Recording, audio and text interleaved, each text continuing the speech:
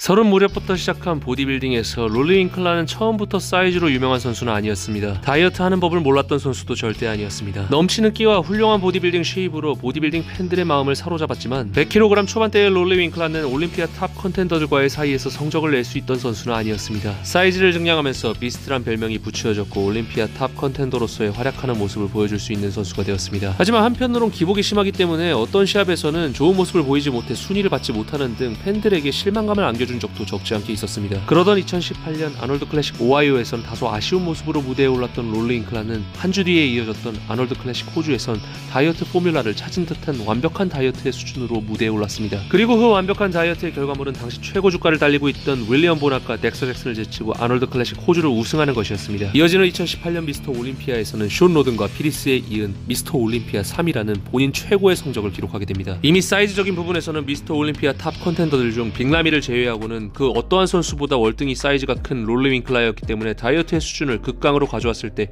그가 보여줄 수 있는 잠재력이 어마어마하다는 것을 팬들이 깨닫는 순간이었습니다. 숀 로든과 필 히스가 빠지면서 우승 후보로까지 일컬어졌던 2019년 미스터 올림피아에서는 5위라는 다소 아쉬운 성적을 기록했지만 한 주 뒤에 열린 야마모토 프로쇼에서는 2018년 시즌에 보여주었던 모습을 재현이라도 한 듯 훌륭한 모습으로 무대에 올랐습니다. 이때쯤만 해도 팬들의 입장에서는 사이즈가 크기 때문에 컨디션 기복이 있지만 conditioning을 제대로 잡을 수 있다면 올림피아에서 충분히 챔피언이 될 수 있는 재목이라는 생각이 들었을 것입니다. 그리고 2020년 조금은 작은 사이즈지만 conditioning을 완전히 챙겨서 나오겠다는 롤리 윙클라는 2020년 미스터 올림피아를 2주 남기고 코로나 바이러스로 인해서 출전하지 못하게 됩니다. 그리고 만 2년 만에 복귀 무대 2021년 시카고 프로에서 롤리 윙클라는 당연히 우승 후보였습니다. 하지만 사전 심사 first callout에서 롤리 윙클라는 좀처럼 중앙으로 진입해 헌터 라브라다와 2위를 했던 브렛 윌킨과 경쟁을 하는 구도를 그려내지 못했습니다. 그리고 그 누구도 예상하지 못했던 일이 벌어졌습니다. 롤리 윙클라가 4위와 6위의 callout에서 경쟁을 하고 있었고 좌측에 있는 모하메드 샤반에게 4위를 내주면서 시카고 프로 5위를 기록하게 됩니다. 북미 대륙에 있는 프로쇼를 계속해서 뛸 줄 알았던 롤리 윙클라였지만 유럽으로 건너가 본인의 팀 동료인 네이선 디아샤와 유러피안 프로에서 경쟁하는 구도를 펼쳤습니다. 두 선수는 이전에도 수차례 경쟁하는 구도를 펼친 적이 있었지만 네이선 디아샤는 롤리 윙클라를 단 한 차례도 이긴 적이 없었습니다. 롤리는 네이선 디아샤에게 패배하면서 또다시 아쉬운 성적을 남겼습니다. 유러피안 프로 2위였지만 미스터 올림피아 출전권을 2위까지 나눠주는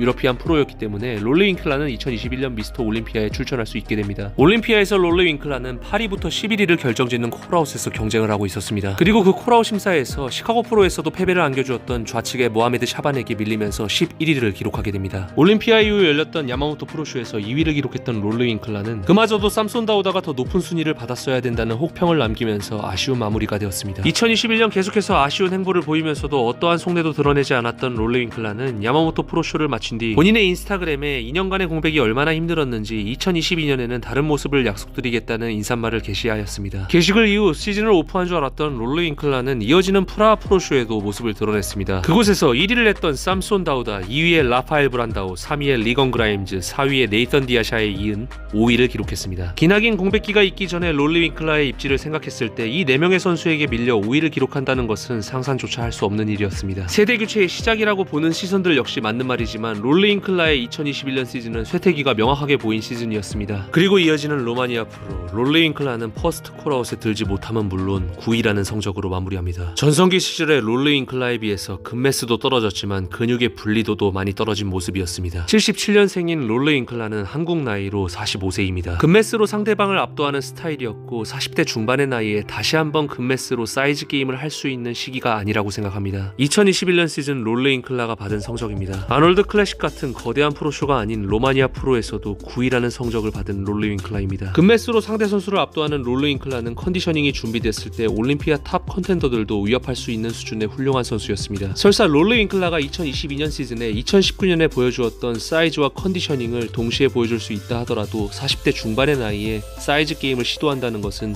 위험한 모험이라고 생각됩니다. 2022년에 롤레 잉클라가 완벽한 conditioning으로 무대에 오른다고 하더라도 프로쇼에서 좋은 모습을 보여줄 수 있을 것이라는 보장조차 없습니다. 10년이 넘는 프로 커리어 기간, 그중 주목을 받았던 5년이란 기간 동안 롤레 잉클라는 사이즈 게임 일변도를 했던 선수입니다. 그렇기에 저 역시도 여러분들께 자신 있게 롤레 잉클라의 2022년 시즌을 기대해 보셔도 좋다는 말씀을 드리기가 어려운 것입니다. 개인적으로 제가 만든 이 영상이 무색해지고 부끄러워질 정도로 2022년에 롤레 잉클라가 훌륭한 모습을 보여주었으면 하는 바람입니다. 보디빌딩 팬 여러분들 2021년 시즌에 롤리 잉클라의 모습을 보고 아쉬운 마음을 감추시기가 어려우셨을 텐데요. 롤리 잉클라에 대한 여러분들의 솔직한 마음을 댓글로 남겨주시면 감사합니다. 여러분들의 소중한 구독과 좋아요가 제게 큰 힘입니다. 감사합니다.